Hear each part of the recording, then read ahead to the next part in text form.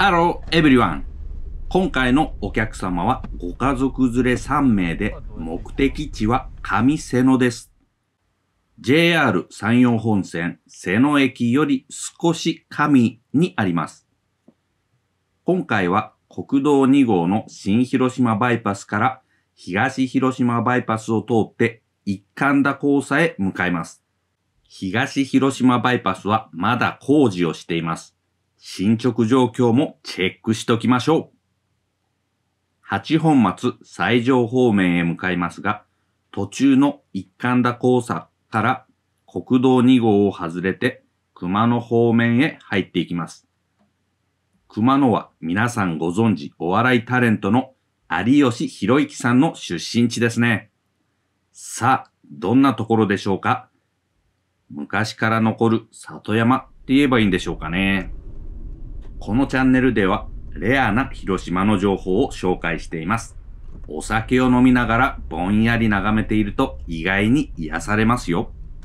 再生リストに各ジャンルをまとめていますので、そちらもご覧ください。今後もどんどん更新していきますので、まだの方はチャンネル登録をよろしくお願いします。それでは行きましょう。レッツラゴー上瀬野までのタクシー料金は約6000円でした。皆さんは一貫田交差から熊野方面に入ったことがあるでしょうか？僕は今回初めてだったんですよね。用事がなければあの道に入っていくことはないですからね。熊野出身の有吉さんもおそらく一貫田交差に抜けていく今回の道はあまり使ったことないんじゃないかと思います。それでは続きを見ていきましょう。どうぞ。